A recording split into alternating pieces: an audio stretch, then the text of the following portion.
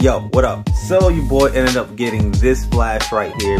This one thing that I'm not feeling about this flash. The front side looks good, right? Detail, of course, but McFarlane always does good stuff like that. Is the side view. Side view and back.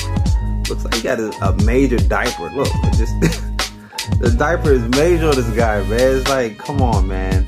Everything looks good. I love the whole transparent uh, little see-through back and back of the legs. You know, act like you're running really fast or whatever. The fingers, but it's just the side man. This his diaper is sagging. The back part of his lower back uh, is popping out, right? So this diaper, pull it up, right?